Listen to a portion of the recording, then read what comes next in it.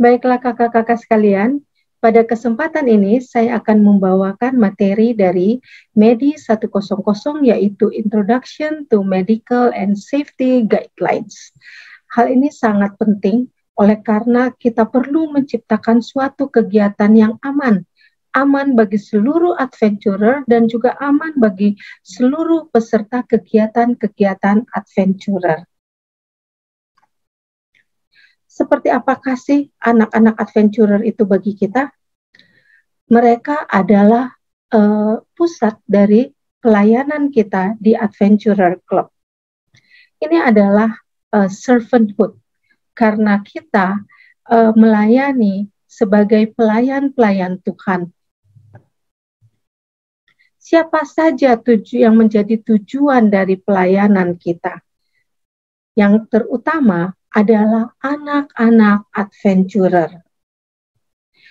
Nah, saat ini kita akan masuk ke materi safety guidelines atau panduan keselamatan. Kita perlu mengetahui uh, lokasi dari kegiatan yang kita akan lakukan.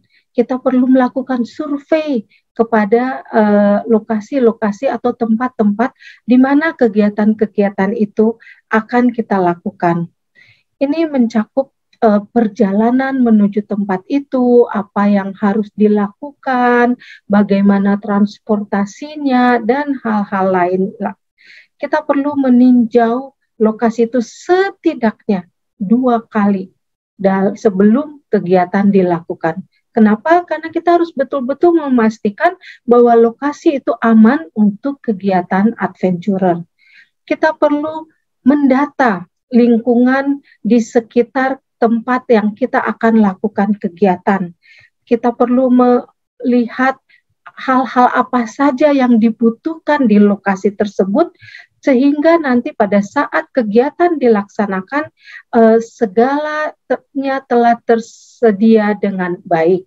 Kita juga perlu memperhatikan keadaan transportasi. Bila mana kita akan menggunakan transportasi umum, kita perlu memastikan bahwa transportasi yang kita gunakan atau yang akan kita gunakan adalah aman.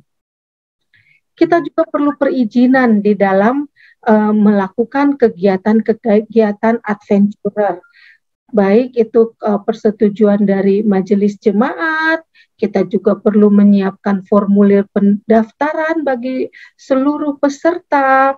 Dan juga kita juga perlu memperhatikan hal-hal klausul-klausul tertentu yang dirasa perlu sehingga kegiatan dapat berjalan dengan aman kita juga perlu memperhatikan medical uh, report dari setiap anak-anak adventurer. Karena mungkin saja ada di antara mereka yang mempunyai penyakit-penyakit tertentu yang perlu mendapatkan perhatian khusus. Atau mungkin bisa saja mereka mempunyai alergi terhadap makanan-makanan tertentu. Kita juga perlu uh, mendaftar untuk personal accidents insurance mungkin ini uh, masih agak kurang di Indonesia, tetapi kita perlu memperhatikan hal ini dan perlu mengaktifkan karena kita tidak pernah tahu apa yang akan terjadi di dalam uh, kegiatan selama kegiatan itu berlangsung. Kita juga perlu mendata secara detail siapa pembina-pembina yang akan pergi, siapa relawan-relawan yang akan membantu kita dalam kegiatan, juga orang siapa orang tua-orang tua dari anak-anak adventurer yang akan ikut serta dalam kegiatan ini. Jadi uh, secara garis besar kita harus mempunyai data lengkap dari semua peserta dalam kegiatan adventurer ini. Kita juga perlu mengadakan uh, persiapan sebelum aktivitas ini dilakukan atau pra-aktivitas. Nah, ini tergantung dari uh, kegiatan apa yang akan kita lakukan, uh, berapa lama jangka waktunya, dan juga kira-kira berapa jumlahnya. Kita perlu mengadakan first aid training dan perlindungan anak. Kenapa hal ini penting? Karena anak-anak adventurer biasanya sungguh sangat aktif sehingga uh, rentan terhadap uh, luka dan sebagainya. Oleh karena itu, kita sebagai pembina dan juga sebagai eh, relawan-relawan uh, dalam pelayanan di Adventurer Club, pastikan kita sudah mendapatkan first aid training, juga perlindungan anak. Juga perlu ada bukti vaksin. Ini sangat penting khususnya karena kita saat ini masih di ada dalam uh, pandemi COVID-19 juga perlu kita membentuk tim manajemen risiko dan kita betul-betul latih mereka sehingga bila mana terjadi risiko mereka tahu apa yang harus dilakukan. Kita juga harus uh, strict ya dalam melarang staff atau anak-anak yang kurang sehat untuk ikut serta dalam kegiatan sehingga tidak mengganggu anak-anak yang lain yang ikut dalam kegiatan kita juga perlu memperhatikan keamanan di dalam perkemahan. Juga perlu ada seleksi yang uh, bagi relawan-relawan yang ikut serta. Ini sangat penting, seleksi bagi para relawan yang ikut serta. Juga terapkan keselamatan aktif dan pelatihan di dalam aktivitas-aktivitas yang akan diadakan uh, di Adventurer Club. Hal lain yang perlu kita perhatikan adalah kita perlu terapkan keselamatan aktif uh, bagi sebelum diadakan kegiatan-kegiatan ini. Kita perlu memperhatikan tentang kebersihan diri, kita perlu memperhatikan bahan bakar yang akan digunakan, dan bagaimana cara kita menggunakannya ini penting sehingga tidak akan terjadi kebakaran. Juga kita juga harus mengerti bila mana kita mengadakan perkemahan uh, di mana mungkin tidak mudah untuk kita mendapatkan air uh, air mineral yang sudah siap minum, kita harus tahu cara bagaimana kita menyuling air itu sehingga uh, aman bagi seluruh peserta kegiatan. Kita juga harus mengetahui uh, dan memperhatikan peraturan-peraturan atau aturan-aturan terkait penanganan pisau, kapak, dan gergaji untuk meminimais terjadinya kecelakaan. Kita juga perlu ada safety warning dalam membuat MCK sehingga uh, tidak mencemari uh, perkemahan di yang di tempat kita melakukan kegiatan dan juga tentunya tidak mencemari udara yang ada di areal kegiatan kita. Kita juga harus memperhatikan makanan, makanan apa yang bisa dipanaskan dan makanan yang tidak perlu dipanaskan sehingga tidak ada kontaminasi dari makanan yang kita sediakan bagi seluruh peserta. Perlu juga kita perhatikan kerja kelompok, juga titik kumpul. Titik kumpul ini penting khususnya bila terjadi hal-hal yang tidak diinginkan di mana kita harus berkumpul. Dan juga perlu ada kemampuan menggunakan uh, eh, GPS atau kompas. Ini beberapa alat-alat uh, yang kita butuhkan bila mana kita melakukan kegiatan-kegiatan outdoor dan pastikan kita sebagai uh, pembina kita perhatikan hal-hal ini dengan baik dan untuk beberapa peralatan yang seperti pisau, benda-benda tajam lainnya, perhatikan untuk dapat tersimpan dengan baik sehingga aman dari jangkauan anak-anak. Kita juga perlu membuat laporan secara detail dari persiapan sampai berakhirnya kegiatan. Ini sangat penting kecil apa pun kecelakaan yang terjadi di dalam kegiatan perlu kita laporkan. Dan juga bila mana terjadi perselisihan dan perkelahian, ingat karena anak-anak yang kita bawa ini adalah anak-anak usia adventurer, di mana mereka masih mempunyai ego yang sangat tinggi, kita harus bijak dalam menangani perselisihan dan perkelahian yang terjadi. Juga pelecehan kata-kata atau seksualitas dan sebagainya kita perlu perhatikan sehingga anak-anak uh, dapat menikmati kegi kegiatan dengan dengan gembira. Kita juga harus mengantisipasi kejadian-kejadian di luar batas normal. Juga pelanggaran bila mana terjadi pelanggaran yang dilakukan oleh anak-anak kita harus tetapkan apa yang harus kita lakukan, bagaimana kita menegur mereka, bagaimana kita mendisiplin anak-anak ini. Kita perlu membuat aturan-aturan dalam setiap kegiatan yang kita lakukan. Kita perlu ada izin, e, misalkan ada anak-anak yang perlu pergi keluar dari areal perkemahan, katakanlah dia perlu membeli sesuatu ke uh, minimarket terdekat, dia perlu izin ya dan pastikan izin itu jangan kita kasih sampai panjang. Jadi kalau misalkan setelah uh, beberapa menit anak tersebut belum kembali, kita harus pastikan kita mengecek ke mana dia. Oke, okay? lalu perlu ada seperti logbook untuk uh, saat masuk dan keluar sehingga kita bisa memonitor memonitor ke mana si A, ke mana si B, tadi izin jam berapa, kok udah jam begini dia belum kembali. Jadi logbook ini sangat penting. Dan kita perlu melaporkan setiap kejadian, sekecil apa pun kejadian itu, pastikan kita laporkan semua itu, kita catat semua itu. Dan juga bila mana ada orang-orang asing di antara yang hadir dalam kegiatan, misalkan kita lihat orang tersebut tidak terdaftar di dalam data peserta kegiatan, kita harus mendekatinya dan e, mencari informasi atas orang tersebut.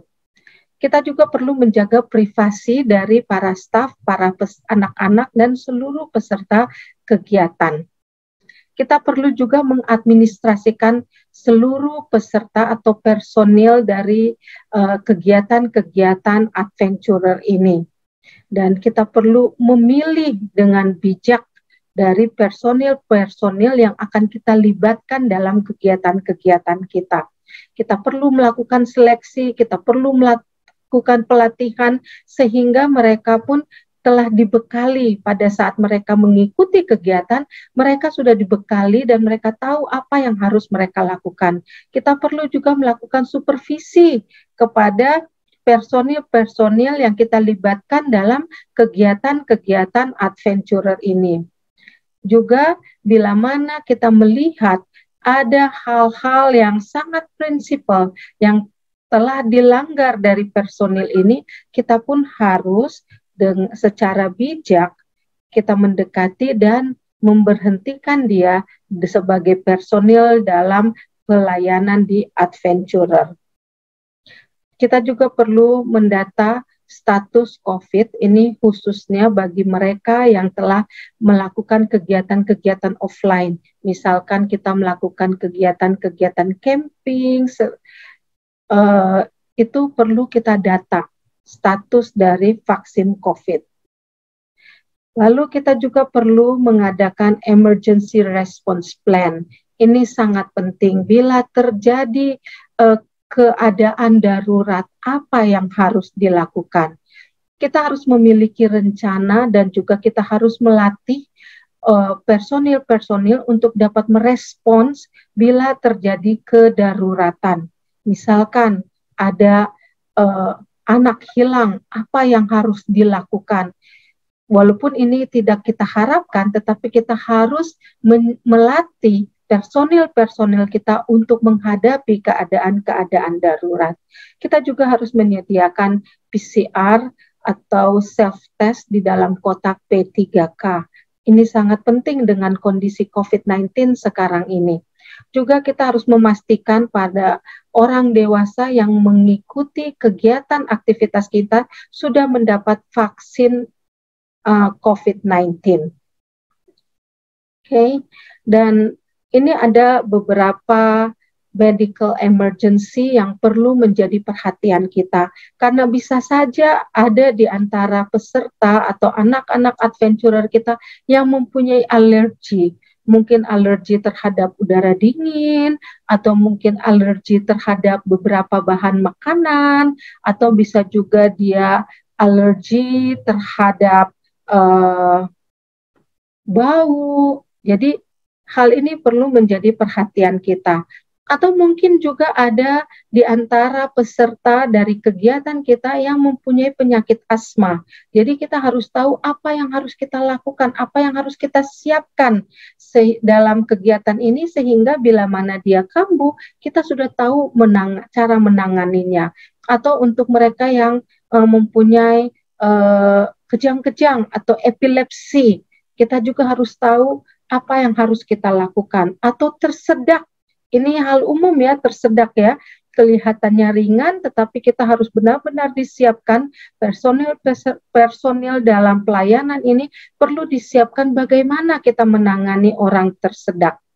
Atau mungkin ada staf yang diabetes atau mungkin orang tua bukan staf tapi orang tua yang diabetes. Jadi kita harus juga mengetahui bila mana uh, dia gulanya tinggi atau gulanya rendah kita harus tahu bagaimana kita menanganinya. Atau bila mana terjadi serangan jantung dalam kegiatan, kita harus tahu penanganan pertama, setidaknya eh, penanganan pertama yang harus dilakukan sebelum eh, tim medis datang juga bila terjadi stroke dari salah satu staff ataupun juga uh, peserta dewasa lainnya, kita harus tahu bagaimana kita menanganinya. Ataupun kalau kita tidak tahu menanganinya, kita harus tahu ke mana kita harus melaporkannya. Dan bila mana terjadi gejala-gejala COVID di antara peserta, kita harus jeli sehingga kita bisa menangani dan uh, mengurangi penularan dari uh, COVID-19 ini. Nah, kita juga perlu memperhatikan abuse alert. Oke, okay? kita perlu memahami tanda-tanda bila mana terjadi pelecehan. Pelecehan itu bisa melalui kata-kata, bisa juga melalui perbuatan. Kita harus betul eh, betul-betul memahami tanda-tanda sehingga kita bisa jeli melihat bila mana terjadi pelecehan. Jadi misalkan kita lihat ada perubahan mendadak dalam tindakan. Misalkan anak-anak itu tiba-tiba yang tadinya ceria dia menjadi pendiam atau terlihat takut. Kita sebagai uh, pembina atau personil dalam kegiatan adventurer ini kita harus jeli melihat hal-hal seperti ini. Atau misalnya kita lihat ada biru atau luka di tubuhnya, kita pun harus jeli untuk menelusuri apa yang terjadi dengan anak ini. Atau mungkin ada cedera yang beruntun terus terjadi. Kita harus jeli dengan hal-hal seperti ini dan mengadakan pendekatan untuk mengetahui apa yang sebenarnya terjadi. Kita juga perlu mengajarkan kepada anak-anak 3K, yaitu kenali situasi, kendalikan dengan menolak, dan juga kemukakan kejadian. Hal ini perlu kita ajarkan kepada adik-adik adventurer sehingga uh, kita tahu apa yang terjadi dan kita dapat menangani atau mengantisipasi hal-hal yang lebih buruk yang bisa terjadi. Jadi kita ajarkan kepada anak-anak kalau ada orang yang tidak mereka kenal menawarkan sesuatu, mereka harus bisa bilang tidak. Oke, okay? atau mereka juga harus diajarkan untuk bisa melaporkan hal-hal yang mereka rasa aneh yang terjadi kepada orang tua mereka atau kepada pembina mereka. Dan setelah berjalannya kegiatan, bukan berarti selesai. Sebagai pembina, sebagai direktur, sebagai staff adventurer, sebagai personil-personil di dalam pelayanan adventurer ini, kita perlu melakukan evaluasi. Evaluasi atas kegiatan yang telah dijalankan. Kita perlu memperhatikan apakah safety guideline ini telah terpenuhi. apakah tidak terjadi uh, kecelakaan-kecelakaan ataupun kalau ada kecelakaan, kecelakaan tersebut telah ditangani dengan baik. Evaluasi ini sangat penting sehingga kita dapat menghindari kesalahan yang sama atau yang terulang dalam kegiatan berikutnya. kita perlu perhatikan kecelakaan di lokasi termasuk bila ditemukan potensi resiko. Kita perlu memperhatikan perselisihan dan perkelahian yang ada, ya kita mengevaluasi apa sebab dari perselisihan ini. Lalu kita juga perlu mengevaluasi bila mana ada pelecehan kata-kata seksual dan tindakan selama kegiatan-kegiatan adventurer yang telah berjalan kita perlu mengevaluasi sehingga ke depan kita dapat mengantisipasi hal ini tidak terulang. Juga kita perlu memperhatikan atau mengevaluasi pelanggaran yang dilakukan oleh anak-anak adventurer dan kita lihat kenapa mereka melanggar dan bagaimana kita menanganinya sehingga ke depan hal ini tidak terulang dan kalaupun terulang kembali kita dapat menanganinya dengan lebih baik. Kita juga harus mengevaluasi bila mana terjadi pencurian atau kekerasan. Ini semua perlu kita evaluasi dan kita cari uh, akar permasalahannya sehingga diharapkan hal ini tidak terjadi dalam kegiatan berikutnya. Di, Nyonya Ellen White di dalam buku Child Guidance di halaman 244 mengatakan, ajarilah mereka dengan sabar. Mereka harus dihukum, tetapi jangan lakukan dalam cara yang mereka rasa sedang dihukum. Dengan cara itu, engkau sedang melakukan kejahatan yang lebih besar. Banyak kesusahan yang bisa dihindari dalam lingkaran keluarga dan klub kalau orang tua atau pembina mau mengikuti petuah dari Tuhan dalam melatih anak-anak. Ini satu nasihat yang sangat baik. Biarlah kita sebagai pembina, direktur, personil di dalam uh, pelayanan adventurer bisa memperoleh satu kesabaran dalam menangani anak-anak adventurer.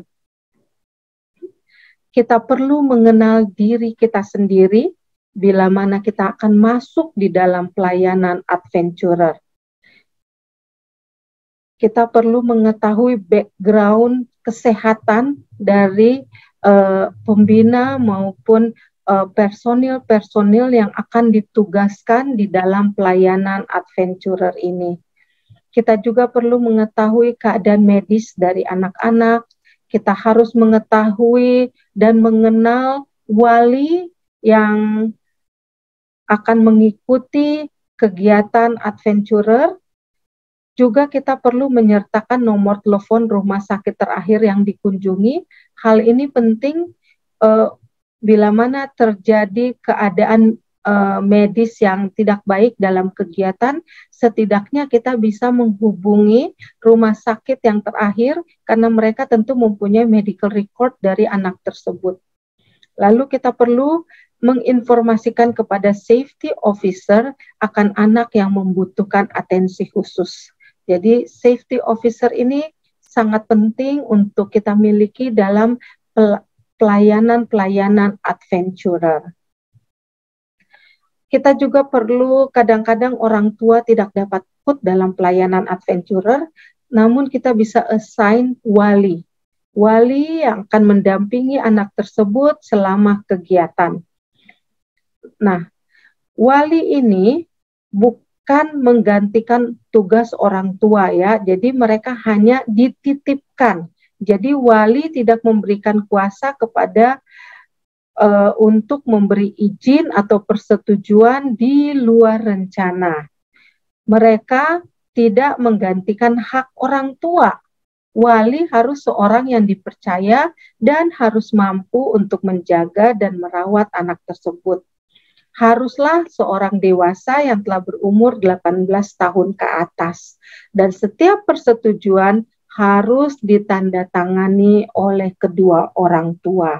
Ya, jadi untuk wali ini mereka bukan mengambil alih tugas orang tua, tetap mereka harus mendapat persetujuan dari orang tua adventurer. Baiklah, kesimpulan dari materi ini adalah Keselamatan adalah tugas semua. Satu bencana kecil atau kesehatan seseorang yang terganggu akan mempengaruhi kebahagiaan, rasa aman, dan bahkan merusak program.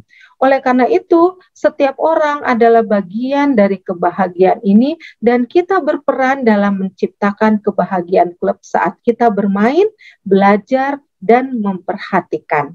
Nah, kakak-kakak sekalian, demikianlah presentasi dari Medi 100. Terima kasih.